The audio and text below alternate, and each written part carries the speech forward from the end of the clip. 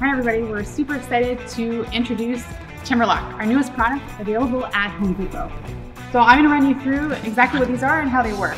So these are available in six foot length, so they're great for dining room tables, desks, benches. So what we have here, there are four different pieces. We have what we call our A1. So this is a piece with a live edge and it's got a square edge. And what makes Timber-Lock different is that the boards are grooved. So this is made to fit together seamlessly and it makes the alignment extremely easy. So the A1 is perfect if you want to make a live edge piece of furniture. But then if you're looking for a square edge, we also have the A2. So this has a nice square edge. And then we have our connecting pieces.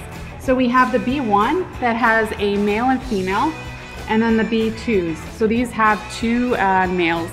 So these will connect together, and if you want to check out our next video, you'll learn exactly how to put them together.